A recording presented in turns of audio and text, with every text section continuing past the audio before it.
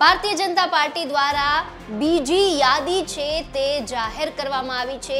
આ યાદીમાં કોને કોને સ્થાન અપાયું છે, શું છે સમગ્ર વિગત તે જાણીએ આ રિપોર્ટમાં. ભાજપે પોતાની પ્રથમ યાદીમાં અમિત શાહ, રાજનાથ સિંહ અને સ્મૃતિ ઈરાની સહિત કેન્દ્ર સરકારના ચોત્રીસ મંત્રીઓને મેદાનમાં ઉતાર્યા છે. પહેલી યાદીમાં સોળ રાજ્ય અને કેન્દ્ર શાસિત પ્રદેશના એકસો પંચાણું નામને મંજૂરી આપવામાં આવી હતી અને હવે બીજી યાદીમાં બોતેર ઉમેદવારોના નામ પર મહોર લગાવવામાં આવી છે. બીજેપીની બીજી યાદીની વાત કરીએ તો તેમાં કેન્દ્રીય મંત્રી નીતિન ગડકરીનું નામ સામેલ છે, જેને નાગપુરથી તો જેમના નામની હાલમાં ખૂબ ચર્ચા ચાલી રહી છે તેવા મનોહરલાલ ખટ્ટરને કરનાલ બેઠકથી ઉમેદવાર બનાવાયા છે. વાત કરીએ ગુજરાતની, તો ગુજરાતમાં વધુ સાત ઉમેદવારોના નામની જાહેરાત આ બીજી યાદીમાં કરવામાં આવી છે, જેમાં ભાવનગરથી નીમુબેન બાંભણિયા વલસાડથી ધવલ પટેલને ઉમેદવાર બનાવાયા છે, સુરતથી મુકેશ દલાલને ઉમેદવાર બનાવાયા છે. છોટાઉદેપુર બેઠકથી જશુભાઈ રાઠવાને, વડોદરાથી રંજનબેન ભટ્ટને, અમદાવાદ પૂર્વથી હસમુખ પટેલ અને સાબરકાંઠા બેઠકથી ભીખાજી ઠાકોરને ભારતીય જનતા પાર્ટીએ ટિકિટ આપી છે.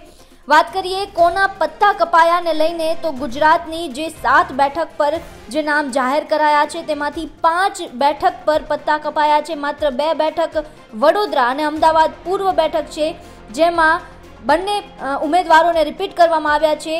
પત્તા કપાયાની વાત કરવામાં આવે તો સુરતથી દર્શનાબેન જરદોશ, ભાવનગર બેઠકથી ભારતીબેન શિયાળ, છોટાઉદેપુર બેઠકથી ગીતાબેન રાઠવા, સાબરકાંઠા બેઠકથી દીપસિંહ રાઠોડ વલસાડ બેઠકથી કેસી પટેલ આમ આ પાંચ લોકોના પત્તા કપાયા છે. હવે જો વાત કરવામાં આવે તો અત્યાર સુધીમાં પહેલી યાદીમાં ભારતીય જનતા પાર્ટીની પંદર ઉમેદવારોના નામ જાહેર કરાયા હતા અને તેના બાદ આ બીજી યાદીમાં સાત ઉમેદવારોના નામ જાહેર કરવામાં આવ્યા છે. અને હવે ચાર બેઠક એવી રહેશે કે જેના પર હજુ પણ ભારતીય જનતા પાર્ટી તરફથી ઉમેદવારોના નામની જાહેરાત કરવાની બાકી રહેશે. આ ચાર ઉમેદવારની વાત કરવામાં આવે તો અમરેલી બેઠક, જૂનાગઢ બેઠક, સુરેન્દ્રનગર બેઠક અને મહેસાણા બેઠક એવી છે કે જેના પર ઉમેદવારોના નામની જાહેરાત કરવાની ભારતીય જનતા પાર્ટી તરફથી બાકી રહેશે. બ્યુરો રિપોર્ટ ગુજરાત તક